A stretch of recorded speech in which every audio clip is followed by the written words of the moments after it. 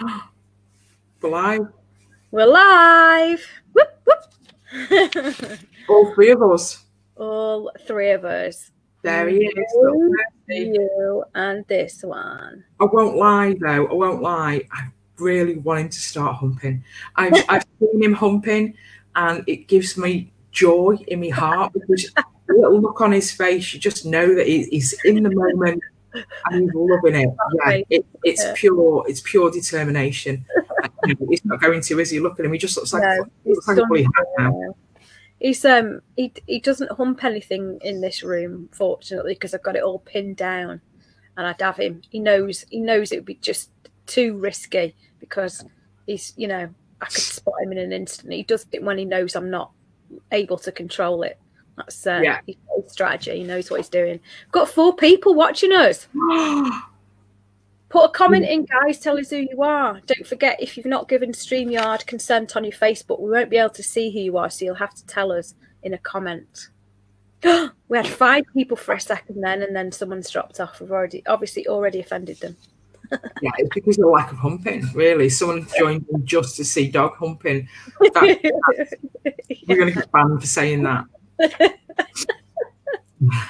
So we are in 2021. It's our first Master Rebel rendezvous of the year, but it's our third one, I think, Yeah. isn't it? It is. And we've got a couple of very key topics today. So we are going to talk first of all um, about tipping points in your life, and that has been hello Tony Yeah, Um, Tony. has been um, instigated by uh, Lisa Avins, who um, put this actually in for our December one. We didn't get around to it, so we've promised to talk about this first uh, for this session. Hi, Selena. Um, Can and just, uh, give a shout out as well because Lisa's just gone live with her business, hasn't she? She has massive shout out to Lisa. So she's just started the Training Porium, which is Yeah, a was- name. Great logo. Was looking at the site yesterday and it's absolutely fab. So absolutely the best of luck to her. I, t- I totally agree. Lisa's a client of mine and she's doing so well. She's got so much get up and go, and that girl impresses me every day. She, you know, she doesn't hang on to her, you know, sort of insecurities and things like that. She just goes and does it anyway and faces the fear. She's an amazing example for this group, actually. Um, I love, love working with her. She's absolutely perfect um, Wow. as a client because she just goes and does things. She's totally open hearted and open minded. It's brilliant. So yeah, massive good luck to Lisa. So we're going to talk about tipping points, and then we're going to talk about self acceptance, which beautifully links actually to that topic. Um, and it was something we we we started talking about in the last um, rendezvous, isn't it? Because um, we got onto the whole sort of physical acceptance and all of that stuff. And I think it's it's always a hot topic. So Yeah. we're going to get knee deep into that as well. Yeah, which is different than needy Yes. or needham, which. Tony is here. Charlotte's online as well. Hello, lovely. Hi. Um, yeah, so we talked about tipping points just before we went live, and um, I think something that I briefly touched on in previous calls is um, years ago. I think it's eight years ago now. It'll be nine this year. Um, I went Blimey. for I know I went for weight loss surgery. Um, and you know, I've got some friends in the group that will remember me when I was the size of Texas, um, because I was uh, a whopping twenty-seven stone. I can't believe that. No, I know, I know, and it's like when I see pictures of myself now, it's like, that was commitment. You know, it's so strange because I, I don't remember that person physically. I remember me you. Yeah, like I remember your soul and your self. Do you know what I mean? But I don't. I even when I think about you in the past, I don't think of you as like that. I think of you as, as like you are now. yeah, it's weird, isn't it? Because it's like I think it's always the same when you remember people in the past. You know, it's like when you remember someone that you used to play with when you were at school. Somehow you remember them as they are now, as a tiny adult. You know, yeah. but I'd um, been big all my life and um, had just sort of coped with it. You know, it's one of those things. And what you do is, is you come up with coping mechanisms. And I think everyone can sort of relate to that because we've all got coping mechanisms for different the different aspects of our lives that we're either not confident in or we're not happy with or we're trying to avoid or something like that. Um, but for me, the coping mechanisms were around uh, how will I get around? Um, how will I cope where I'm going? So, for example, um, with the partner I was with at the time, uh, if we were going out for a meal, if we were going somewhere new, I used to ring the restaurant beforehand and ask them to describe the chairs because I didn't know if I was going to be able, to, if I was going to get stuck. Um, there were stairs as well. I remember stairs were a big deal, weren't they? Well, no, it's coming down. I'm still coming down. Stairs. Yeah, I, I find stairs nervous because I'm I worry that I'm going to fall down and because of my back. And I, I must admit, like, I'd much rather go upstairs. Yeah, yeah. I'm not very fit and it knackers me out than go downstairs. Yeah, because for me, I thought I'm not as likely to hurt myself as much if I'm going upstairs. But when you're really big, the fear of falling is like it's a big thing because yeah. you know if you fall, you know you're going to leave a crater. Never mind hurt yourself. Um, so it's something I used to worry about. Um, and it was it was things like that that you know how am I going to get to where I'm going? Um, it wasn't necessarily how people would feel about me because I had kind of accepted myself physically. Um, but it was my health. I knew because my health had started going um, downhill, and I knew that the next 10 years, and that's probably all I had left, weren't going to be good. Um, and eventually went to the doctors again um, because when you're big, you know, you can go to the doctors with a broken leg and they'll tell you it's because you're fat. So it's yeah. I, I went to the doctors and I said I knew there was there was things wrong and I wanted some blood tests. And the doctor's sitting there and she's looking at the screen and she said, Yeah, I mean, obviously because, you know, we did a test two years ago and you're diabetic and, and I'm like, What? And she went, Yeah, we sent you it and she goes quiet, she went, We didn't send you the letter. So at that point I've been diabetic two years. Wow. And hadn't had any medication or known or anything like that. I mean, obviously, I suspected. And she sort of looked at me, shit her pants. Showed I'm going to end up in court on the screen, literally pointed at it. And I'm like, I'll have weight loss surgery then, please. And she's like, okay, we'll get it sorted. Um, but it's it's a big process, you know. It's not a fast process. It's no. a two year process at that point, uh, which when they first tell you that, you're horrified because you want it to, you know, you want to lose it in the next 20 minutes. Um, you did a lot of research on it as well, didn't you? That, I was so grateful. Had you so grateful. Yeah. yeah. And most people wouldn't do that, and they also wouldn't have found out the things that you find out found out to prepare yourself yeah. for the, the long journey ahead. Yeah, absolutely. And, and quite shocking journey ahead as well. It was pretty traumatic, wasn't it, in lots of ways? It was. It was Most people must go into that and be like, yeah, it's just going to be a magic spell. Yeah, and that's kind of what you think it is. So mm. those that two years of doing research and getting myself ready and changing some of my mindset was perfect. I'm I'm very grateful for that because sometimes when we know that there's a change that needs to be made, we, we want to make it now. Yeah. And we think the change needs to happen today. And if it happens today, then my problems will be sorted. And you realize as you go through your life that isn't the case. You know, yeah. it's not a case of tick that box and everything's fine, because sometimes that brings up another issue and another issue and, and often does you know. I don't think we ever get to a point where we're like right i'm now complete i don't have any issues i don't have anything i need to work on or anything like that.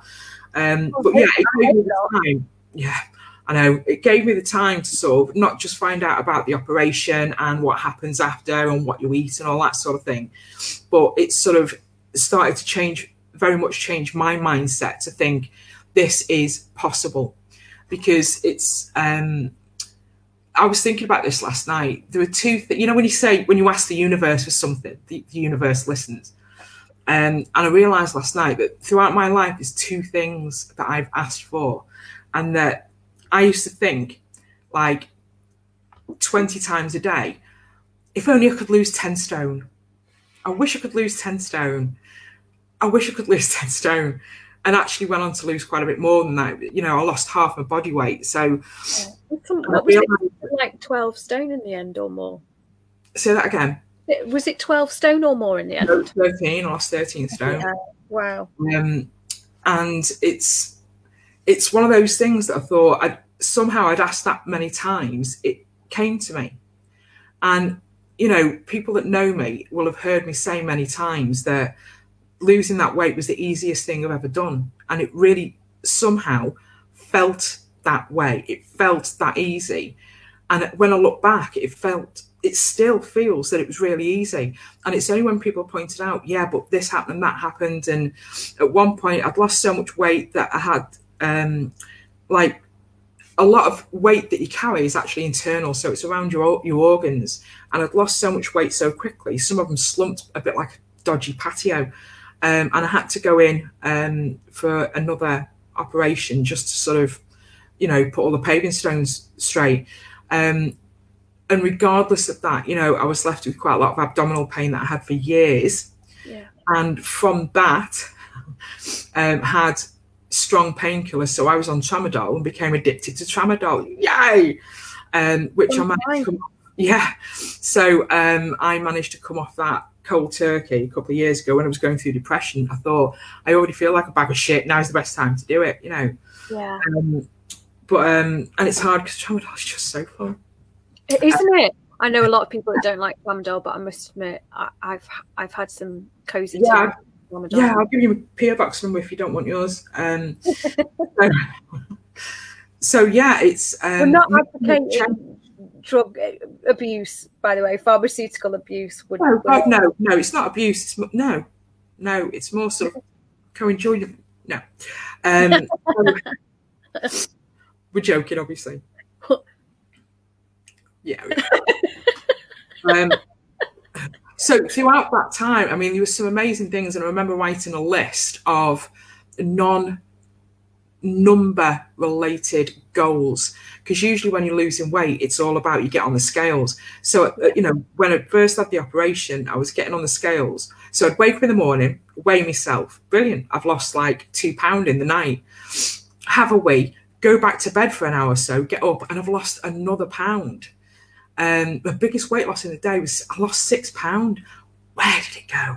And I still wonder about that. Where did it go? But that's that's what happened. Um, you, you also instantly came off the like there was medications you were on. You instantly stopped all that, didn't you? After the surgery, yeah. you didn't anymore.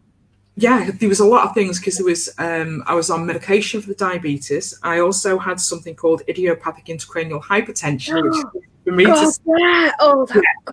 which we nicknamed uh, fat fucker blindness because it's often related to women with a weight issue. Um, you know, and that was very, very severe medication. There you go, you've done it. We've worried about this You're just gonna have to do that. You've accepted it. Um, so um, all of those things, plus at that point I was on the verge of being incontinent. You know, I only had to look left quickly, you know, and I do the crackers. So um, overnight, I never took any of those medications again. Yeah, and they were coming in the night, taking my vitals and showing me, and my diabetes resolved overnight. Wow. Um, so from that, you know, um, I'm just going to get a tissue. Hang on. Your call is important. I'll do a little bit of entertaining. Yeah, yes, there we go. There we go. Um, I thought I had a tick in my pocket that was going to blow my nose on, but then I realised it's actually. Um, I know, but it just it just smears. It doesn't absorb. yeah, I thought I had a tissue in my pocket, but it's not. It's actually a dressing off my finger, and that wasn't going to work for blowing my nose. Um, this is real life, people.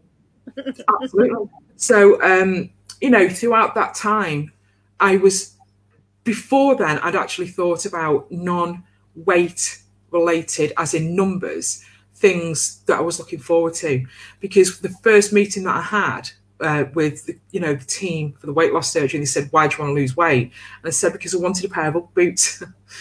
um, and it was things like I wanted to be able to wear a pair of wellies. I wanted to be able to go up a ladder without embedding it in the ground. Things like that. I wanted to be able to cross my legs. And it's things like that that people don't even realize. And it's those little things. And I remember being able to tick them off one by one, being able to tick them off. And, you know, I started walking quite soon after that, which was yeah. probably the biggest change from the weight loss because I started to do, you know, I was walking about 75 miles a week in a working week. And, you know, I've become a real, a real joy for you, hasn't it? Walking. An absolute joy, an absolute joy. And throughout lockdown, it's, it's not been as possible for various reasons. Um, I mean, Mark and I get out walking most days and love it. But yeah, the amount of times I've sort of been up at five, you know, I've been leaving the house at five o'clock in the morning and walked for 18 hours.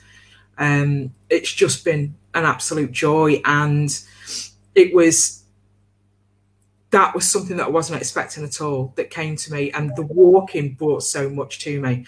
So it's sort of that journey, that turning point brought so much. But when you think about when I was saying, you know, you think you've got this issue. Once I've done that, it's sorted. That's not always the way. And it's um, since losing the weight, I've often found um, my own accepting my own body harder now than I did then. Right. Because it's like before, I was just a really big woman. Now I feel a bit freaky because you know you wouldn't know it under this scarf like but um, when you had weight loss surgery um, there's the issue of you get some really wobbly bits and which weren't wobbly before they were solid you know what i mean um, so find that has been quite difficult and it's it goes to show you that you can make a massive change to your body and still have issues which is said to me that yeah. i've still got potentially the issue that I've got somewhere in here is still to be dealt with, and it wasn't even weight related. Don't get me wrong; I'm you know very glad that I did um, weight loss, um, and I've started reading a book recently that we were talking about the other night, Emma. That was it's really interesting because it talks about um, female sexuality. Yeah, and it's one of those for, for anybody who's watched Big Mouth on Netflix. I don't think I've seen that yet. Oh, right, it's really. Oh, remember telling you about it. Yeah, it's a cartoon. It's it's about kids going through puberty, and it's really inappropriate. But one of the things that I love about it is every now and again they'll get a bit of information, the heads just blow off. And when I was reading this book, you know, it, that's what was happening, and it was very much talking about. The book starts off talking about um, how women have been portrayed in um, throughout history, and it's mostly around sort of physically, if you like, um, and that it was even when there was sort of the first steps into medicine and modern medicine, the way um, you know women were viewed, and in I'm trying to remember, I can't remember the exact details, but in in um, in one culture, the idea was that men's genitals were attractive, so they were on the front of their bodies, women's were shameful, so were hidden underneath. Yeah. Then was sort of through that um, filter and always has been. And the way we, I, I think we need to do a whole thing on this, you know, perhaps an after yeah. the watershed, all no holds barred sort of female sexuality chit chat, maybe get a couple of people involved in that. Yeah. I think that would be really interesting. I think that would be really interesting because it's, it's something that only, yeah, I mean, I found that it's only over the last sort of six months, really. There's people that I've spent, you being one of them, obviously. Um, there's a group of people, um, you know, shout out to Maz, who's out there, um, and a couple of other people that I've spoken to that it's something that we don't talk about even to a set between yourselves. No. You know, no. and it's like, why is that? And I'm not saying that men do more often. I think they probably do less. Um, but it's it was fascinating. There's certain boundaries, though, isn't there, that women will talk about together? Like, you know, I mean, some of the conversations we've had, whilst I've had open conversations with other women about such matters, um, I don't think I've ever had the kinds of conversations with anyone else as I've had with you. Yeah. Um, you know we'll talk you might talk about a partner or and you know your experiences with a partner or whatever. Mm. but when it comes to you know some of the real intimate stuff about you as a person and what you know your sexuality you're into and all of those things and you know things about how you see your your female you know bits and all of that yeah. we don't really talk about that at all generally. no. And you know it's the interesting part about the book, I mean, I'm only halfway through it. You know, God knows what the rest of it's going to be like. Um, when it when it talks about how we view ourselves, um, how we just accept that there's limitations. That was my electrics flickering. I don't know why it does that. Um, you know, it, it really was fascinating, and it got me to a point where I realised that over the years throughout your life, and this isn't just women, this is men as well, it's people in general, you sort of fed information from the media and that sort of thing of what you should be, whether that's what you look like, how you should earn your money, how you should live your life, what time you should eat your tea, what you should eat for your tea, all that sort of thing is, is drip fed to us. Um, and we often, as women, we buy into that. So yeah. if you've got to have your hair's got to be like this. If you've got, um, if your skin isn't perfect, there's something wrong. If your nose isn't perfect, there's something wrong. If you're short, if you're a different shape, then there's something wrong. If you're if you're, too, if you're taller than the man you're with. Oh shit, that must be tough. That one, and it, there's so many of them, and it's funny because when you look at somebody else, let's say someone who's taller, I, I think I don't look at them and think, wow, she's tall. How horrible that must be, or how awful she looks. I just think, wow, tall lady, yeah. and then move the fuck on. Yeah. And it's realizing quite often when you've got these insecurities that people don't see them any, they don't see them the way we do. Yeah. You don't break your own. It's amplified. It's massively amplified. So if you've got a cold sore, let's say, you think everyone can see it when you go, oh, this is really painful, and people go, I hadn't noticed it, you think, well, you're just being nice.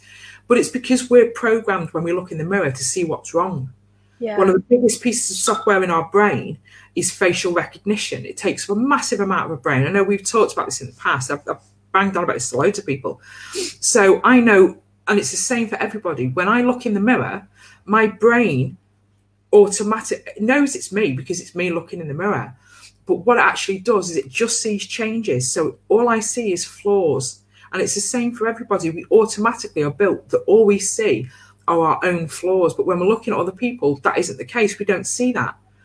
Um, and, you know, it's like when, now I'll, I'll use this in this sort of universal tone. When men look at women or women look at women or men, whichever your sexual pre- preference, when you look at that person, when you look at someone of your sexual preference, let's say, you don't necessarily look at them and think, oh, mm, yeah, this a little bit of wobbly there, and yeah, this is. You see nice, yeah, you see curves and you see and you see nice. That it's we we don't see what we think we see, but we're so used to focusing on what's wrong, it completely puts the block on what's right. Yeah, I I find this whole the gender norms part of it as well really fascinating. And actually, when you when you you've quickly mentioned hair before, um, like I sometimes think, is my hair because I haven't got long hair now? Am I does it is it too masculine for me? Do men put off by so short hair? You know, silly things like that pop into my head, and then I'm like, no, I really like my hair. And that, but then also these things like you know with same sex couples and so on that I think there's often a thing where people look at look at a couple and go, or which one plays the male part and which one plays the female part in this relationship. Yeah. It's bullshit, isn't it? It's yeah, yeah, yeah. It is absolutely. Yeah, my personal favourite for men was always who's posting on a newsletter box. I love that. I love that. Um, but yeah, I think it's we're very much programmed to think about what's wrong. We don't necessarily yeah. look at what's what's right. And I know we often do a lot of work about, you know, gratitude. So I know, for example, Kaz Moss through uh, Spiritual um, as Frock um, has done a lot around gratitude, uh, which is a fantastic thing because that does change everything. And it's when you start looking at what's right rather than what's wrong, then things start to change for you. And fully enough, one of the things that it mentioned in the book is if you do that, if you do it over and over again, you look at the same thing and think, I like that, then that starts to become much more your norm. And um, one of the main things at the start of the book is about brakes and accelerators. Um, so when it talks about, for example, female sexuality, we often think that um, women don't have the same sex drive as men. I mean, that's bollocks as well. There's a pun. Um, I know, I was thinking that. The accelerators are what drives you, but the blockers are what stops you. And that's in your brain to stop basically you being like Percy. Because if we didn't have blockers, we'd go around just dry humping everybody all the time, which I think would be funny, but in COVID times would be awkward. I'm pointing at the screen, you can't even see my finger. Um, throw something at him to get him to hump. Um, but when, by the way, it's just saying, I love seeing women with short hair, they appear so empowered. Yeah. Um, so, you know, when it talks about the brakes and accelerators, you realize that, that potentially women have maybe more blockers because the biggest when they've researched with which they only started researching i said the other day 20 years ago but it was in the 70s because i think the 70s was 20 years ago um, they realized that the, the number one the number one blocker for women that causes issues within their sort of sexual identity is their own how they feel about their own bodies yeah. that is the block that you know you can be with the, the person of your dreams. You can be so happy, and then you find yourself thinking, "Oh, what do I look like in this position?" Yeah, you, know, you worry about that, and it instantly puts a block on that says to your body, "Ah, maybe now now's not the right time." Yeah, and that was fascinating because you know they looked at um, they looked at the physical side of sexuality but then realized that the big thing that had been missed up until that point was the research into desire. Because that was the driver. Yeah. So when it comes that's sort of, the big deal, isn't it? That's the, it that's the biggest, probably the biggest part of it, and the bit that has been most missing when people have done that kind of research. Research. Yeah. Yeah, and I think quite often it's like when it comes to acceptance, usually the person who accepts you the most is the one that you worry about the most. I mean, it's sort of, I, I don't know, I'm just outside. Um, it says something to me the other day. now banned from coming back into the rest of the house because he'd have to cross the screen. He's got to stay in the kitchen. No, no, but you know, um, you know, he said, "I'm going to try and get the words right." He actually said to me the other night, "I don't love you for what I think you are. I love you for what you are. Oh, God, I accept you for what you are. Every every element of you, and that's sort of a massively, massively empowering thing oh, that you think someone else can completely accept me. Why can't I accept myself? So yeah. that I mean, I'm very lucky in that that I'm sort of being able to really look at those elements of my life. Obviously, it's not just that, it's there's loads of different elements of your life that you may find difficult to accept. And it's, you know, whereas we're talking about um, the physical side and predominantly from the female point of view, it's the same for everything else. You know, whether you think, um, because I know um, a, friend of ours, ours, Steve Higginson, that we definitely need to get into the group. Oh, yeah. um, well, he might be is accepted or not. Cool. Um, I know he's done a lot of work about male physical acceptance, um, yeah. some amazing work, because it's exactly the same. Yeah. It's just we often get to wave the banner and say, you know, we shouldn't be treated like this. Men don't feel that they can know, shout that barrier, uh, shout that barrier banner. Um, but those elements are still going to be there. You know, am I, t- am I too short? Am I too big? Am I too hairy or whatever? Stop shaving your backs, they're fine. Um, and, and that's that sort of thing, you know, it's yeah. we have this real uh, thing about accepting ourselves physically. Yeah. That once and I it's like the place that I'd love to be in is thinking I am what I am. I was perfect when I was a baby because in the book again she talks about you get these chubby little babies and everyone's like, oh, they're perfect. And you're still perfect now, you know, regardless of what your body looks like or how you perceive your body to look, you are still perfect. You are still exactly what you're supposed to be.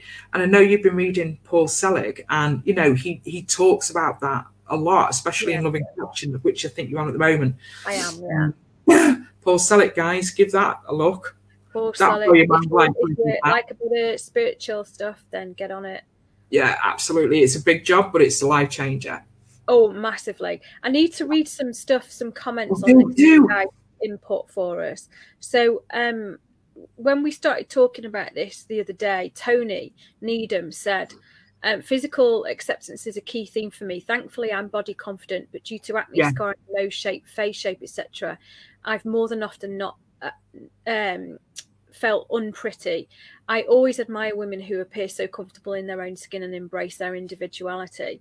And then later went on to say it's um, it's easy to think we need to hide our insecurities, but of late I've found admitting them is really yeah. liberating. I totally agree. As yeah. more often than not, others don't see me the way I do. And when yeah. they share their own insecurities, which I never saw, it proves the point that we are our own biggest critic and generally see the beauty and positive in us rather than imperfections.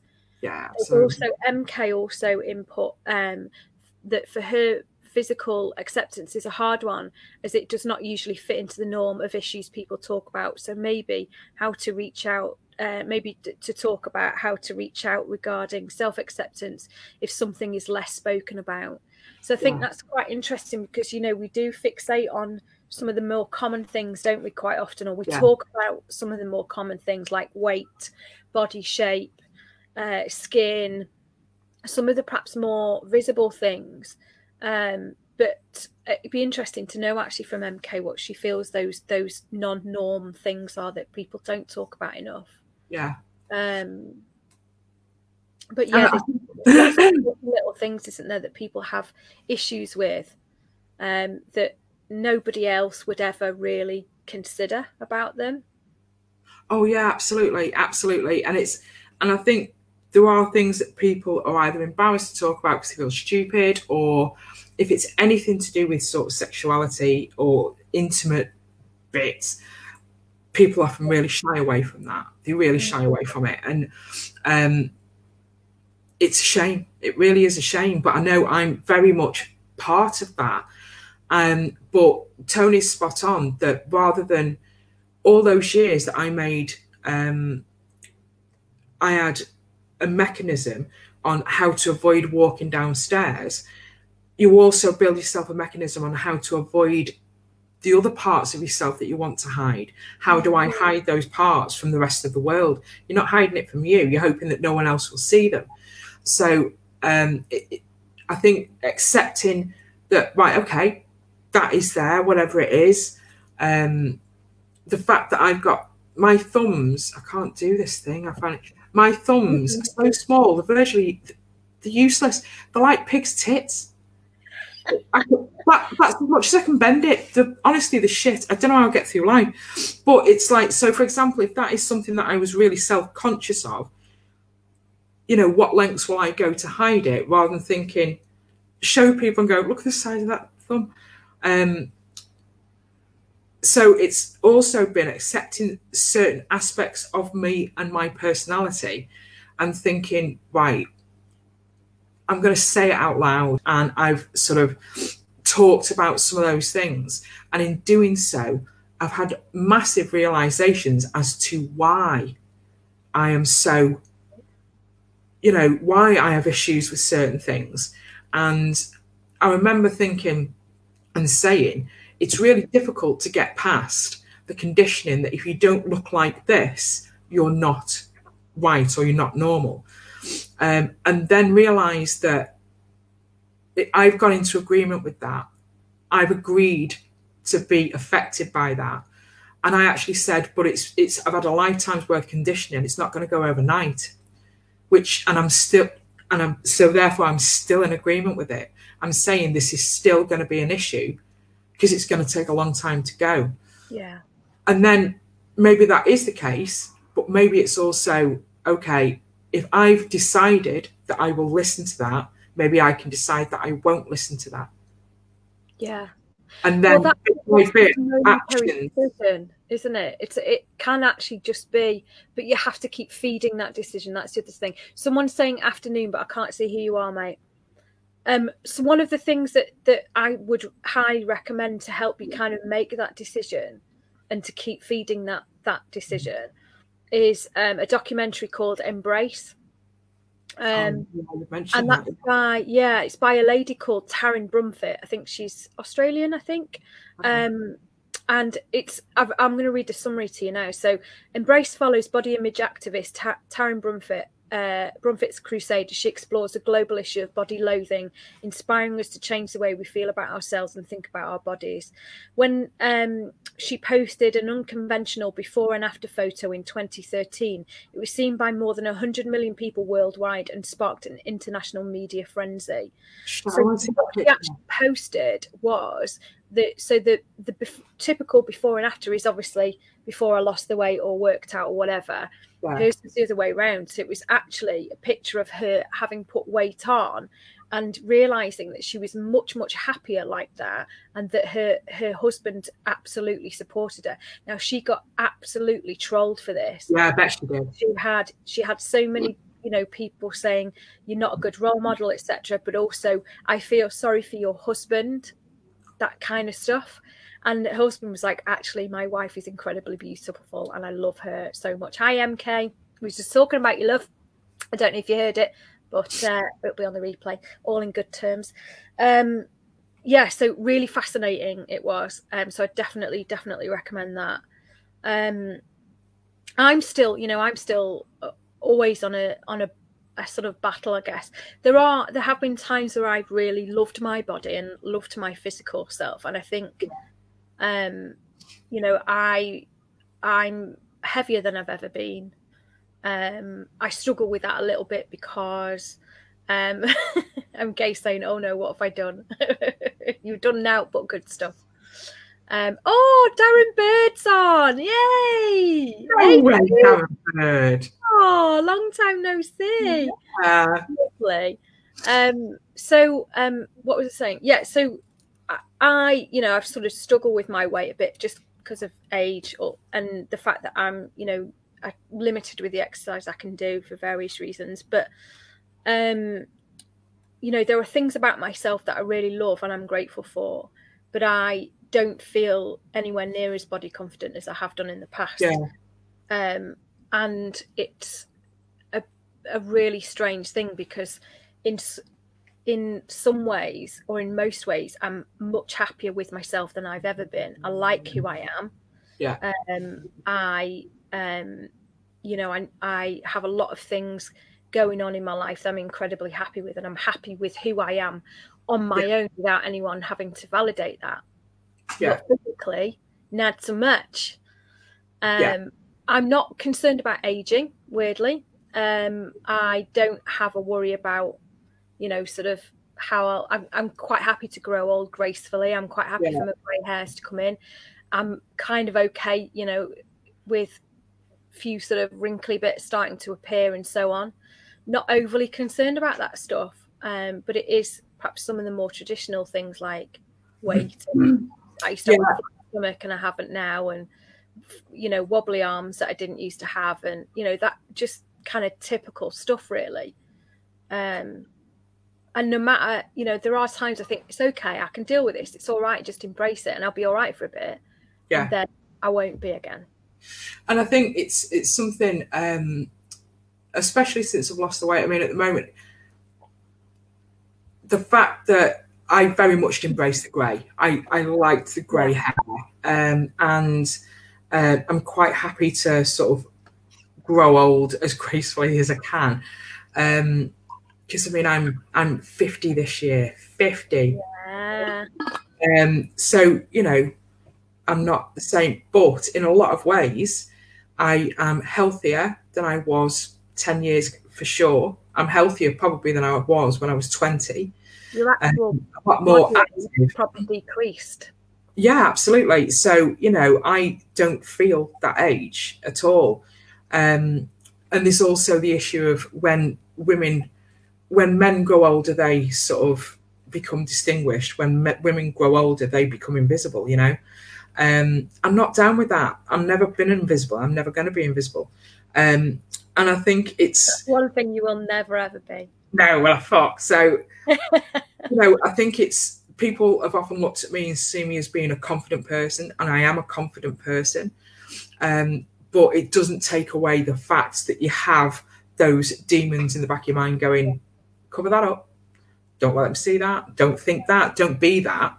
Um, that I'm sort of, I think the biggest step for me is realizing that I can choose not to go into agreement with those things because I already have in a lot of ways. I've chosen uh, not to go in agreement with the fact that you can't have hair this short or that you know I don't often wear makeup or that you know I might look a bit different or say something different whatever so why not with all of it and I think it is a practice you know it is a practice I don't yeah. think anyone I mean it's like uh, a friend of mine who is you know she's in her 20s she's absolutely stunning when we talk she has a lot of the same thoughts that I do because I'm thinking well, why? Why would you have those thoughts? And then you realize it's not actually about your body at all. It's not your body that creates those ideas. Yeah. It's yeah. It, it's going into agreement with the sort of constant conditioning. Well, yeah, you, you know, you switch on anything on on Netflix. You think how much we all consume Netflix. Just as one example, you switch on anything in Netflix that's like fictional. It's all full of people who it's the land of the beautiful people. These yeah. agreements we've made. Um, I'm someone saying this is why I don't try and fit with gender norms. I'm assuming that's MK only because I can't imagine Daz saying that. Um, and uh, we we talked a little bit earlier actually about gender norms, so definitely watch that on the replay. I think it's a really fascinating topic. I actually think we could do a really good panel show on that. Yeah, I find gender norms really fascinating because it's just so nonsensy yeah. Um, I'm gonna I'm gonna bring us back a little bit to the the original um thing from Lisa because I feel like we haven't done turning point. Yeah. This yet. Um, yeah, it was MK. Um, so um, so this Lisa's original question was: Would love to hear your thoughts on tipping points in your life, and at what stage have you sat back and changed your path just because you know it's right? What does that actually feel like, and what were the signs? And I think I, when I've thought about this, I've had two probably key moments. One of which is the, the probably the the most recent one or the most dramatic one, which was realizing that I had to um, go out on my own and get out of corporate life. Um, that I was being toxified by it, and I just got this. You know, I got a kick because I got made redundant. Um, a lot of you know about that, but perhaps one of the things I haven't talked about as much, although I do talk about it quite openly, um, is where you first sort of knew me many, many years ago. Um, and I was definitely what I would call a mood hoover, but I didn't think I was. Um, and I really struggled for a long time with um, under, not understanding that other people's values were different to mine and they're being very I was very regularly disappointed and hurt by people. And I would wallow in it. I was very negative and you gave me a lot of good talking tos as well as other people um, but very significantly I think that was our age as well love we were young and we used was, to I, think you know, was, I mean I'm sure I think what it was like then but it was you know for me it was like so when when you talk about like a tipping point for me, that was quite a gradual process, actually. Yeah. Um, there were a number of incremental things that changed how I was and helped me come to the understanding that it was actually me that needed to change my attitude, not everybody else. But there was a significant point at which I realised I need to get a, a grip of this now, um, because yeah. I was I was descending into depression. I ended up off work for a month, and yeah. very early on in that, um, our family friend Matt, uh, of Matt's brother, who was on yeah. the Doing the Bees thing, um, his his brother died um, very young, and that was devastating. Um, for many of us, obviously. And that I remember that being quite a significant point. I remember sitting and thinking, I don't want to dishonour Chris's memory by sitting in this pit of darkness because it's disrespectful and I have got so much in my life and I know I need to change. Um, so that that was a definitely a you know a, a, a signaled moment to me where yeah. I knew I had to change.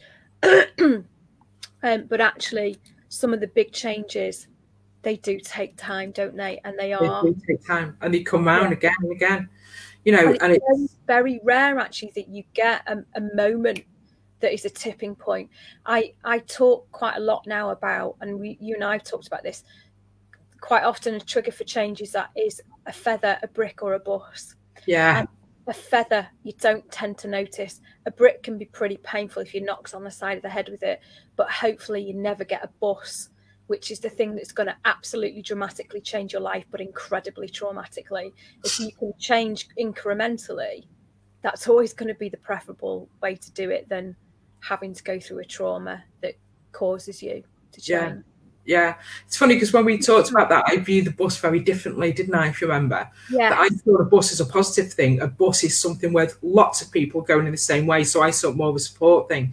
But yeah. I completely agree that I mean, same lessons potentially will come up over and over again throughout your life until you actually learn it. Um, and that could be in so many different ways. And, you know, there's many times over the last few years that I felt, yeah, that's it. I accept myself as who I am now, that sort of thing. Um, and then something else will come up and something else will come up. So for me, you know, last year, it's nice saying it's last year, although the numbers don't make any difference. Um, you know, a lot of that happened for me. And it wasn't necessarily, it certainly wasn't because of, you know, it wasn't necessarily because of the Rona. It was, well, I suppose it wasn't a, a roundabout way, but being able to, um, being put in some extreme circumstances and seeing myself and having to make some, you know, some big changes for various reasons is the, the thing that is also put in front of me. oh, actually, no, you haven't learned that lesson. So getting to a certain point and thinking, there you go, that was it, that was definitely it. Yeah. And then like and someone goes, and someone elsewhere goes, Are you sure now? Let's yeah, check absolutely. It. And you know, you've heard me say many times that this doesn't happen to you, it happens for you.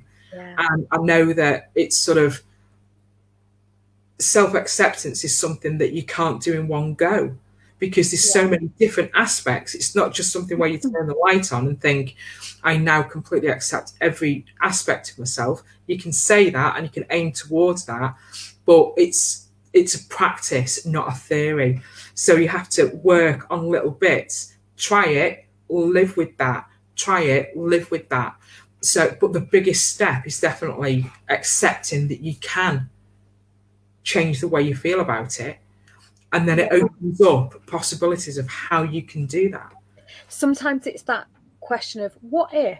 What if I felt differently about this? What if I yeah, what if I didn't worry about that? What would yeah, it be like? And that's easier somehow than I need yeah. to change my mind. Yeah. Someone, it might be MK before she changed her settings, said Youth is wasted on the young. If only this message about mind bombing, great term, uh, our own self esteem could filter down to the younger generation. Love this chat, ladies. Then MK is also saying mini goals always help with this. I think the incremental changes. And could it be that the lesson isn't to be learned, but that at the time the end goal was something different and it guided you towards that? Yeah, I agree with that as well because you know there's times I thought uh, during lockdown because you know I sort of split up with partner at the time. I thought if I sort of remove that person from my life, everything will be golden. I mean, I had this list of, oh my god, you know, I saw myself as this. I, I thought it was going to be living in a Galaxy advert, obviously Galaxy chocolate, not Galaxy the thing around us. Um, that was like once I've got the house to myself, I'm going to be able to do this, and I'll be so relaxed, and I'll be that. and I'll, out when I like. Oh, do anything I want. yeah. And within 48 hours, I was actually so stressed, I couldn't. So much just happened on the BBC. Um, oh God knows what it is. I couldn't even um, sleep in the, my own bedroom because I thought the roof was literally going to fall in. So, you know, when I thought this, do you remember that? Yeah, dude, that was you had some real dark times. Weird, yeah. So it was a case of thinking, if you remove this person from the equation, I will then be happy. But it was actually realizing then, no, it's now I've got to see me and I've got to work on those things. And it's only then that things came up and those um because I wasn't focusing in the wrong direction, I was actually focusing in the right direction. And that's why it all felt like it went tits up because there were so many things that I needed to sort of look at. Um, and you know, it's been a massive benefit and it's been a massive yeah. privilege to be able to do it. It's that happy. I'll be happy when thing. Yeah, yeah, yeah, yeah. Well, isn't it? You know, when I've got that, exactly. You know, there's um MK saying nothing major, just Scotland going into a tougher lockdown. Oh, thank you. I just looked at that. Yeah, no, thanks. Um, the um, same old, same old. Mm. Um, yeah. So um, yeah, that we all exactly be happy in the moment. Okay, so we all think um, you know, we're, we're heading somewhere. It's like a constant hamster wheel. And I think it's great to have goals, but you also, the problem with having goals that are very ambitious is that you're never happy because when you achieve it, then what else? And it's, it's great if you are the kind of person that can set goals. And I do do that now, you know, I can set goals and think, great, I've, I'm really happy that I can celebrate that. What I want to do next is, but that makes me happy because it's aligned to my purpose and it's aligned to why I'm here. But I also have to very much be happy in the now because otherwise you're just chasing a ghost. And, yeah, and sure. that's something that we don't teach kids in schools. Also, one of the probably the key things that's going to help people generally be healthier in this society is to help people understand how to be happy now, how yeah. to understand um, not only what you've got and the abundance around you and, and, to, and gratitude, but also understand how to have self-fueled goals. So yeah, goals are not dependent on you achieving a certain amount of money or a certain status or a certain career path or a certain car or house or, da, da, da, or yeah. relationship even. Things that you know you can do that even if you were living on the streets and you had nothing, that you could create some kind of self-fueled goal.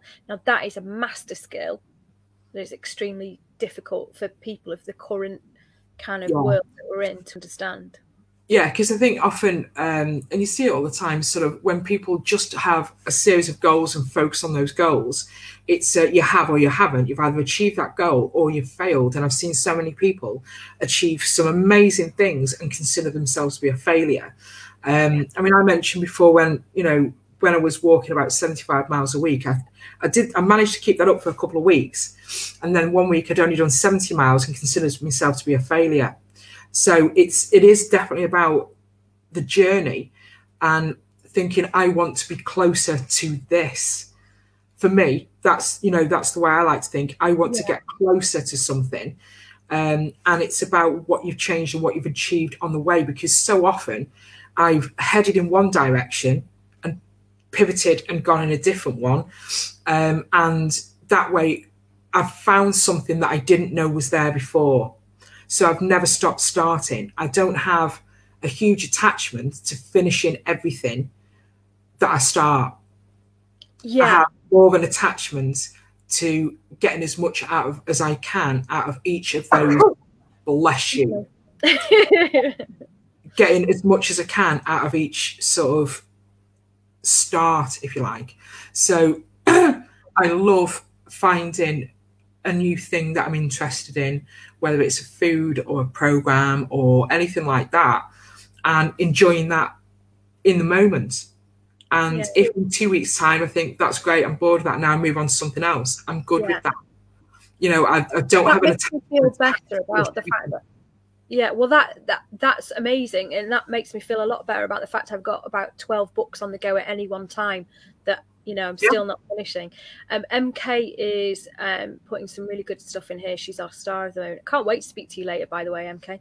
Um, the um, it's she's put something about it. Recognize it's okay to be not to not be happy as well. Yeah. Um, and also, um, as, I think as regards sort of, you know, being kind of without roof situation, um, she said that um, her goal was to keep going to college regardless if I had no home to go to after. Bloody hell, mate! What yeah. you, sounds like you've had a lot of stuff to deal with in your short life so far. Yeah, definitely. She has. And she's come a long way. And she's not, we've said this, she's not great at taking praise because she's shit out at what she does. And she'll cringe gonna, at that. We're going to make her. We're going to make her get better at it. Yeah.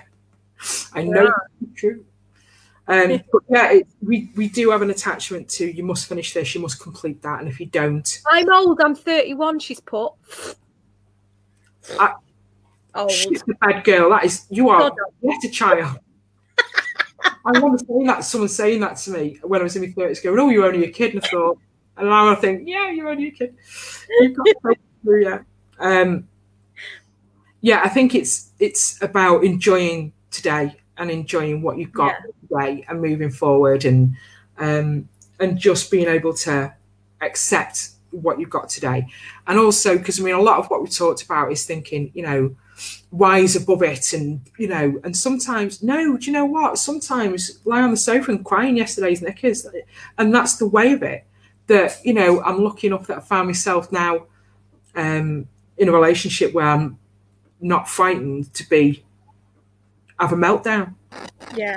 Oh I, I, you know, i and i learned that a long time ago that part of my process to get over crap is that i've got to have a bit of hippo time and I've got to either be depressed in it or I've got to be angry for a bit. So you know, I had the whole New Year's Eve debacle with the fireworks. Oh shit, the bed, yeah. Yeah, and lovely Claire sort of commented saying, you know, don't be careful of the energy you put oh, yeah, out there. Yeah. You know, sort of send them love kind of attitude, and I, I totally agree with that. But for a while, I knew that I, I didn't want to do that. I felt sulky about it, and I'm like, I don't know. I, I, I want to feel angry. I feel like I have a right to my anger for at least a, a, a few minutes, and yeah. I knew that I had to process that because otherwise, what I was doing is jumping to trying to force a place of forgiveness, and but actually bottling up in the process. And I I learned that many years ago when I was going through that sort of recovery from a mood hoover stage mm. um, i learned that if i you know if i you've got to be positive you know i was getting that message all the time be positive you know people were who were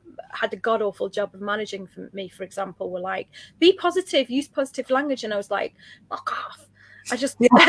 I, don't realize how bad it bad it is, you know. And actually, yeah. what I realized was when I was trying to be positive and so on, was actually just pretending and bottling it up. So I yeah. now know that I go through an albeit short process, and it gets shorter and shorter as I get older, of wallowing whatever in whatever that low frequency emotion is, so I can explore it, understand where it comes from, try and recognize if it's been triggered from something old, and learn the lesson from it and then I can move on. Yeah, um, yeah, definitely. And that's part of acceptance as well, accepting that you are going to feel shit at times and it's okay to feel that because, you know, it helps you to, it can really highlight areas that you're not going to be able to deal with if you just keep on thinking. And being positive is also about being, I hate using the word authentic because it seems unauthentic. let's use it. I, I love the word authentic. Like. We'll use it. Um, yeah, just being true to how you feel at the time and not pretending yeah. not to be. Because I mean, I've I've, a, I've had a meltdown this morning because the cat's peed on the sofa. To be fair, it's been a string of things. That was not an isolated situation. No, no, we've had some big things. You know, when your defences are down, you've got to be yeah. a bit forgiving. Um, Steve, Steve's put, you've taught me to deal with the way emotions will be up and down like a stripper's knickers. It's so strange. I love that. I love those. I love a simile, mate. Is that a simile? I don't know. Yeah, I I a lot in similes and ana- analogies and whatnots, and I don't yeah. know. I, always forget what the difference is, but hey. Yeah, because well, you know my favourite. You know my favourite simile, don't you? Was that, is it, Today's um, drag on snake's dick. I love it. It's, it's and also, you used to tell me that my hair was as slick as shiny as snot off a knocker. That's it. it. Was, yeah, it's one of my mum's uncouth sayings. She had a whole range of them. Yeah, I was so embarrassed to fold up my own hole. Oh, Holes God, came up all the time to my mum. Yeah, any medicine was for coughs, colds, and sore holes. And if she was busy, she didn't have time for a shit shave wanker haircut. Oh, we know, there is, we know there is a, a worse one, but we'll wait maybe for another. I'll never forget the um, shopping city. Ah, that's better. Oh god, yeah, absolutely, absolutely. Um, but yeah, I mean, there you go. My mum was unapologetically herself. Oh God, such a role model for that. Actually, Yeah, absolutely, absolutely. Um, but yeah, it's it's you know it's all come back really to in case commented. I'm gonna I'm gonna say it the exact way she spelt it. There's always time for a W and eight K. Good girl. it wasn't me saying it. It was it was my mum, and she used to say it really quickly and not really think about what she was saying, which was the same Yeah. for quite a few of us saying. She didn't really take in what she was saying. She just said it because her mum had said it. Um, Do you remember? yeah, she- Do you remember? Oh, you look like you've had a good two weeks. Oh, she, yeah, she was. Yeah, she's absolutely. Yeah, we met up with a friend of mine. It was in the summer, and he had shorts on. And um, Johnny's mixed race, and my mum literally, literally touched his leg, rubbed his leg, and went, "Ooh, you've got a lovely tan. Where have you been?" she was a bit of a sexual predator, my mum, on the sly. She, you know, grip hold of anyone, and she had hold of him at the time as well. And he was like, and when he'd gone, when he'd gone, she was like, "Oh, he was a nice." And I'm like where would you been? I'm like, um, well, no, he's black. And she's like, I know, where's he been? And I'm like, no. And I explained, like, fucking hell, go after him. He's going to think I'm a racialist. A Go racialist. after it. I think Mm, Steve put my, it's not right. my granddad's uh, saying was he d- he don't know whether his arse is punched board or countersunk. what? That's one of those that doesn't really mean much because she used to say I'd go on the streets if it didn't cost so much. Go what? She said I'd go if she was if she was hard up. She'd say I'd go on the streets if it didn't cost so much. and I remember saying to, her, "Why does that make a difference?" And she she actually said because it probably keep falling out.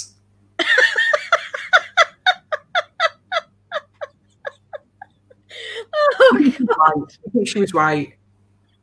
I don't know. the fact she's actually like processed that as well is hilarious. She processed it a bit because we talked many many times about the whole yeah it's shinier than snot off a knocker.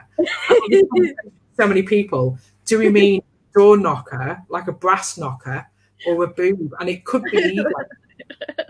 It could be either because let's be honest, it's the snot that makes it shiny, not necessarily what it's on. It's on. Yeah, yeah. Oh God! As always, we could go on for another hour because Yeah. it's just it, it, enlightening, amusing, and many other things in between. Yeah, it's going back. Guys, if you're watching this on replay, do put us in a comment or a hashtag replay or something so we can gauge what's going on. Um, I think we might, if if you're um, able to, rippers, I think we might try an evening time for our next one to see if we get Okay. a different crowd. What do you reckon? Yeah, okay, good. Yeah, Um, thank you so much for the guys that have been on live with us so far and your comments. It's definitely made it, um, given it an extra dimension. We love it when you get involved. Um, let's hope this stuff's been helpful. I think this has been really good stuff. And uh, as we're talking, there's so many thoughts I've got around having specific conversations yeah. on the various different things. I definitely think some sort of panel show would be really interesting for us to do. Yeah. Um, We could do we could do like RuPaul's snatch race, snatch game, snatch thingy. Maybe we shouldn't. Maybe we shouldn't. Maybe we should. Okay, you definitely mixed up various things. I did, yeah. What is it called? Is it It's- snatch game? drag race, drag race featuring Snatch Game. Correct. I can't even say it myself now. No. Any hooser, that's us. Thank you for tuning in, everybody. Thank you as always, my good, lovely mate Rippers. I'm going to um, try to put me out of a cushion now. Good for you. Yeah. Until next time. Yes, indeed. good luck with the cushion. Goodbye. Bye, Goodbye. everybody. Bye.